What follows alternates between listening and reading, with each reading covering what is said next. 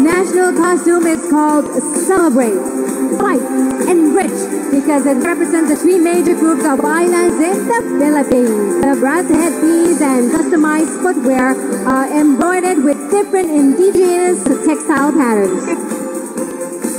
Song of the Hotel Philippines. Philippines. Philippines. Yes, you gotta, gotta. Bye.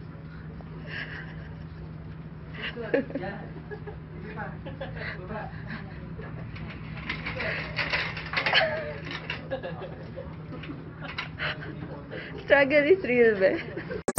Philippines!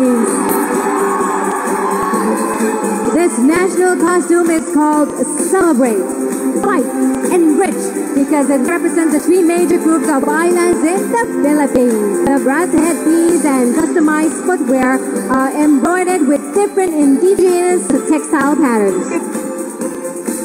สาวงามจากประเทศฟิลิปปินส์ครับมาในชุดที่แสดงถึงการเฉลิมฉลอง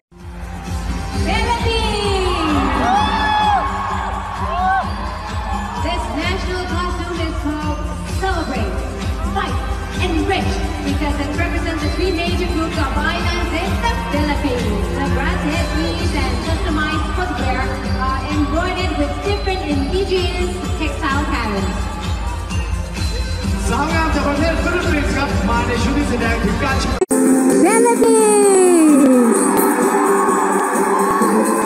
This national costume is called Celebrate, Fight, rich because it represents the three major groups of islands in the Philippines. The brass headpiece and customized footwear are embroidered with different indigenous textile patterns.